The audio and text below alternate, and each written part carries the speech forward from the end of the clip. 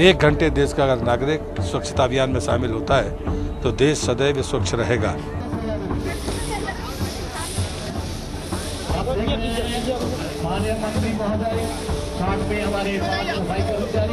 मुझे लगता है ये सतत चलना चाहिए कि हम करें और सौ लोगों को तैयार करें। जागरण तभी स्थायी होगा। मेरे गाँव से और मेरे कार्यालय से करूँगा कि हम सप्ताह में दो घंटे अगर देते हैं तो मुझे लगता है ये देश कभी अस्वच्छ नहीं रह सकता।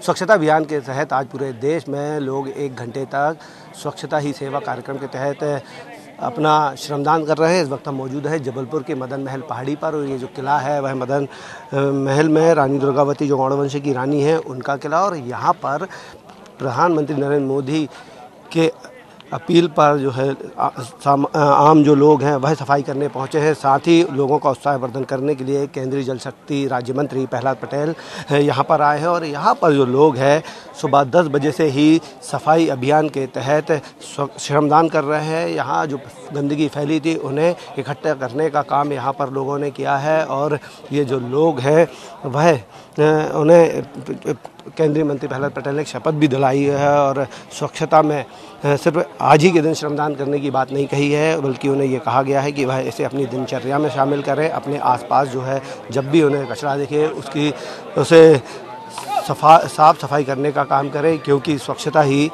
लोगों को स्वस्थ रखती है, देश को समृद्ध बनाती है और इसलिए स्वच्छता की अलग जो प्रधानमंत्री नरेंद्र मोदी ने जगाई थी, उसे अपना हिस्सा बनाने का काम करें और इसी वजह से लोग जो है यहाँ पर स्वच्छता अभियान के तहत श्रमदान करने का काम कर रहे हैं। न केवल मदन महल की पहाड़ी पर, बल्कि जबलपुर के जो ऐतिहासिक धरोहरें हैं, वहाँ पर लोग लगातार जो है यहाँ पर स्वच्छता अभियान कर रहे हैं। सांसद हम राकेश सिंह सिंह की बात करें लोकसभा के मुख्य सचेतक हैं। वह मेडिकल में के पास स्वच्छता अभियान चला रहे हैं। इसके अलावा जो बीजेपी के संगठन के लोग हैं, वह अलग अलग स्मारकों पर अलग अलग जगहों पर जो है स्वच्छता अभियान कर रहे हैं। और यही वजह है कि इस स्वच्छता अभियान जो मदन महल किला है, वो गौड़वाना की शासक रानी दुर्गावती का ऐतिहासिक किला है। यहाँ से वह अंग्रेज़ों पर नज़र रखती थी। इसके अलावा अगर हम बात करें तो पाँच अक्टूबर को प्रधानमंत्री इस पूरे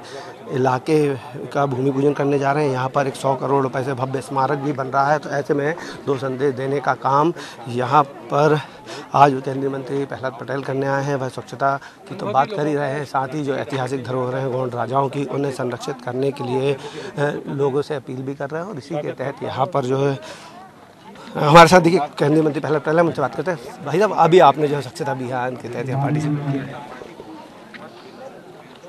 महात्मा गांधी की 150वीं जयंती के बाद हमने स्वच्छ भारत गांधी के चरणों में अर्पित किया है।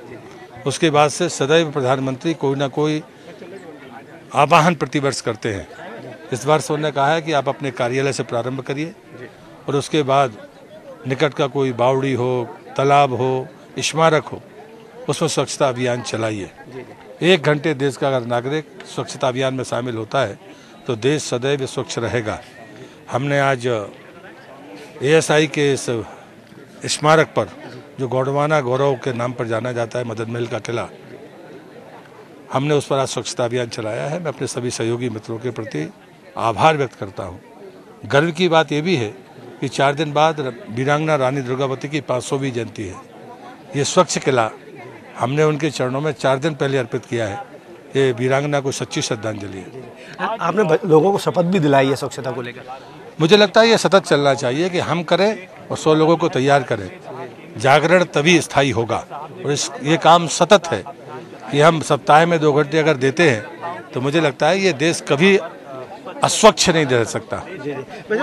अगर हम बात करें कि जो देखिए तो ये थे पहले पटेल जिनका साफ़ तौर पर कहना है कि अगर हम लोगों को जागरूक करेंगे, लोग जुड़ेंगे, ये कार्रवा ऐसे ही आगे बढ़ेगा, तभी देश और हमारे जो स्मारक है, वह स्वच्छ हो पाएँगे और उसी के तहत यहाँ पर स्वच्छता अभियान चलाया गया है और ये रानी दुर्गावती को उनकी जन्म जो पाँच सौवीं जन्म जयंती आने वाली है, पाँच अक्टूबर को, उसके पहले एक सच्ची श्रद्धांजलि है। कैमरामैन गणेश अभिषेक शर्मा।